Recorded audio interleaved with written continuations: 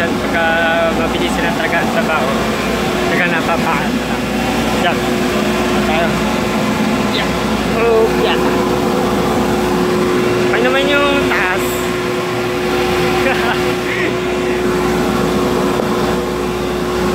Yan, may nagitay. Lapot yan. Yan, nakataas na tayo. Ay, tulis, tulis, tulis, tulis, tulis si Mama. Yan. Agad, agad. Oh, yan. Yan. Yun. Gandang view para doon sa kabilang pwesto. Saan nakalagay yung mga container. Okay. Mas konti. Oh. Oh, yan. Yan. Sabi lang yung barko. Yung barko. Ah. Yun.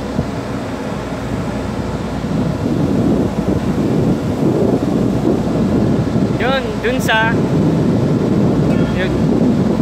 Sa gawin na yun, puro container. Pag mula dyan, hanggang dito sa Hyundai. Ganito sa dulo dun. ano ba yan? dulo talaga eh. Oo nga, hanggang dulo. Dulanday. Saan lawak? Yan.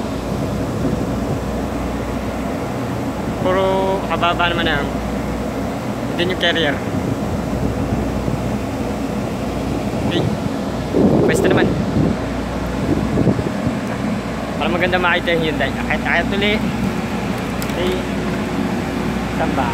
Yan. Dito sa pwesto natin. Tayo. Oh, yeah. Yun. Ang yung flooring. Kinakain pala. Kita doon sa Miguitos sa likod. Oh, yeah. Ah, wait.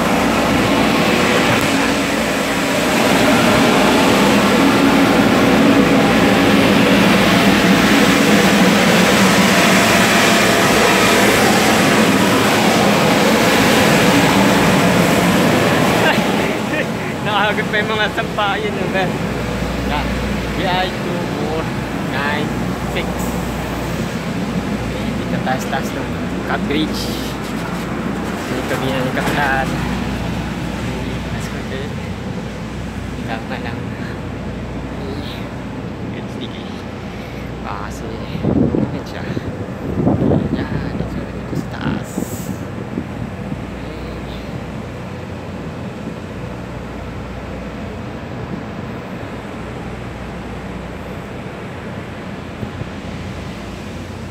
Yeah.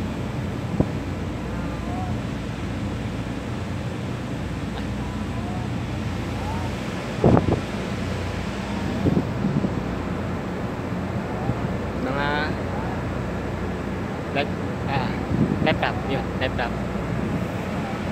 Bali, apat sila.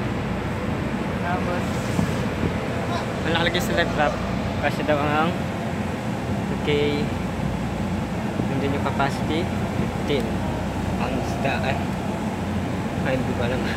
Diba, hindi ko basa. Ah yun capacity 15 persons. Height of drop test 18 meters.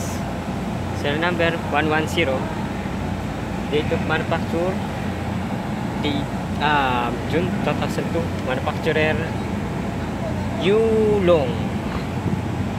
Date of inspection. 6 July 2017 date of inspection 05 July 2018 o next year. Hmm. so ibig sabihin kung 50% na ano kasi as din hindi ah